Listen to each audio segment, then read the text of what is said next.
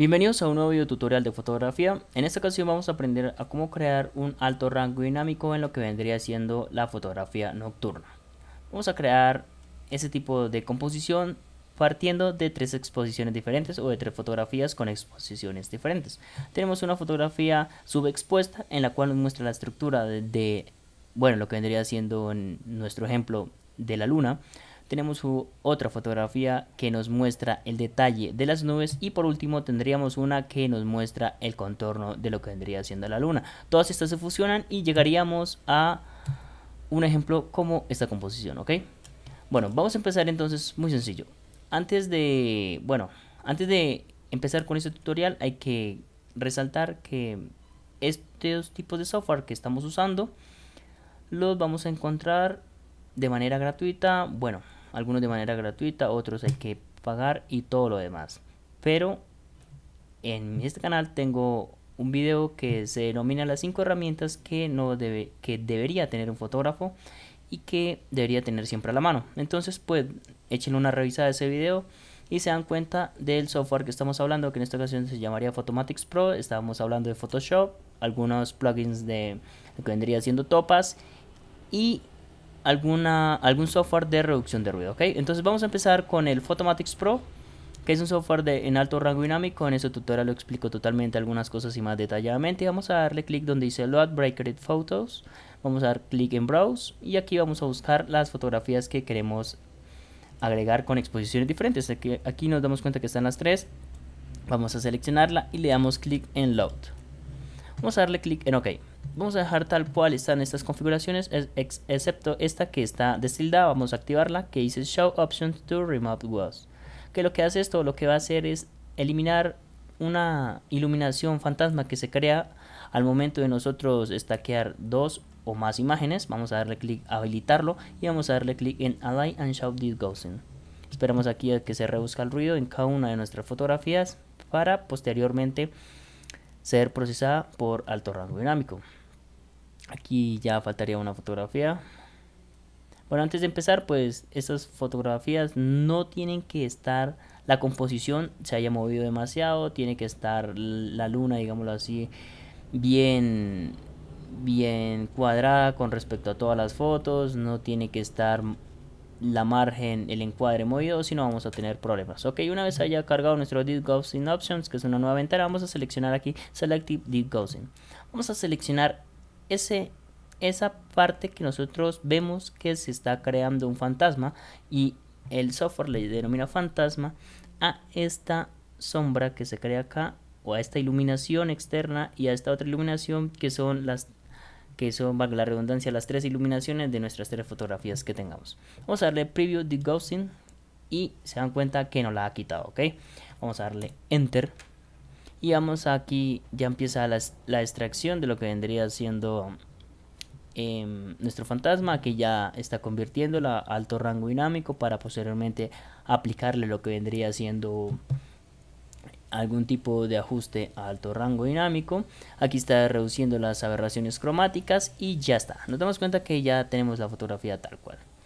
Dentro de ella nos vamos a al lado derecho tenemos demasiados pinceles o bueno, demasiados plugins que ya están preconfigurados con ejemplos que nos puede quedar nuestro, nuestra fotografía. Vamos a seleccionar la que dice natural. Dentro de natural vamos a aquí hacer una serie de ajustes bastante pequeñitos. Vamos a dar, por ejemplo, vamos a bajarle el brillo. Vamos a dejarlo, bueno, no tanto, vamos a dejarlo por acá.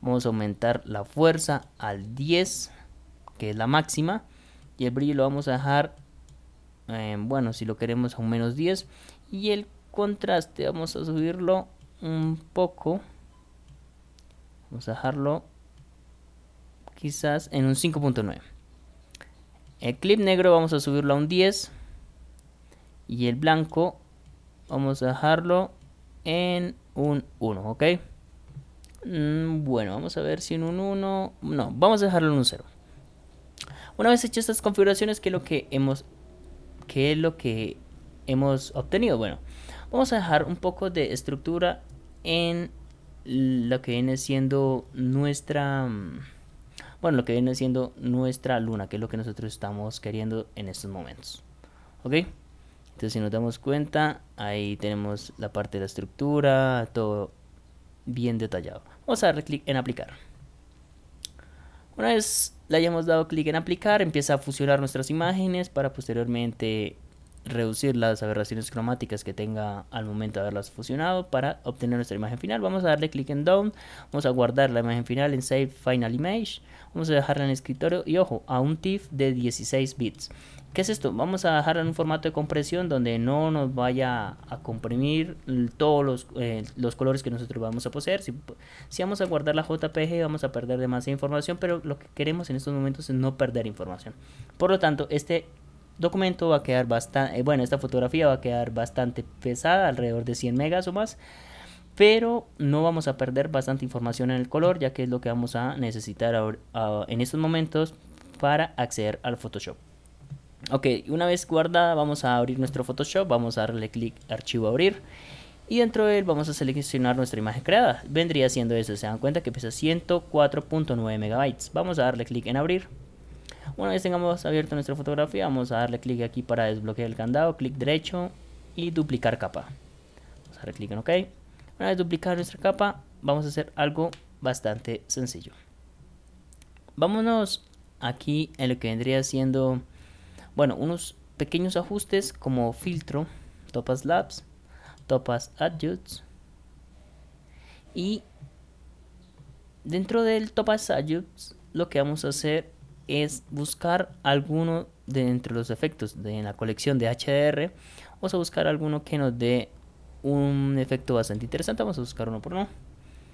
No me gusta, no me gusta. Bueno, ustedes dirán cuál es el que se más se asemeja a sus gustos. Por ejemplo, en mi caso, me gusta demasiado este. Conserva bastante el detalle de las nubes y deja la estructura de la luna. Vamos a darle clic en OK. Se dan cuenta que este proceso es bastante sencillo, sino que hay que tener cuidado en la toma de la fotografía. Ha cambiado bastante, vamos a irnos ahora a filtro Imaginomic Noise Wave Reduction. Dentro de Noise Reduction, ¿qué vamos a hacer? Lo que, lo que este software realizará será la eliminación de... Mm, vamos a darle clic en Default, vamos a darle clic en OK. Lo que va a hacer será eliminarnos un toque el ruido porque la verdad, a comparación, por ejemplo, vamos a darle atrás, esta fotografía con esta, la reducción de ruido es bastante considerable, así que preferimos dejarla sin un toque de ruido. Y ya para finalizar, este vendría siendo nuestro resultado, ¿ok? Vamos a verlo aquí con la lupa. Se dan cuenta que seguimos conservando el detalle de la nube, de perdón, de la, de la luna. Mm, tenemos aquí detalles en las nubes, tenemos basta, una fotografía bastante estupenda, ¿ok? Y con esto habríamos finalizado con este tutorial de, de, cómo crear una fotografía a alto rango dinámico en lo que vendría siendo la toma de fotografías nocturna, ¿ok? Espero que les haya gustado este nuevo tutorial, no olviden comentar, suscribirse y nos vemos en una próxima ocasión. Adiós.